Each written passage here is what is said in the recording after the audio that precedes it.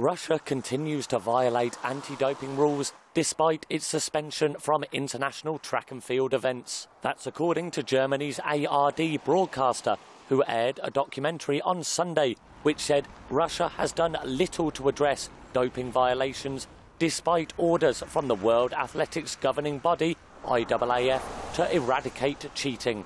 The ARD documentary said suspended employees are still working in the industry while others continue to provide banned substances to athletes. Russia was suspended from athletics in November last year after a special commission of the World Anti Doping Agency exposed widespread state sponsored cheating and corruption.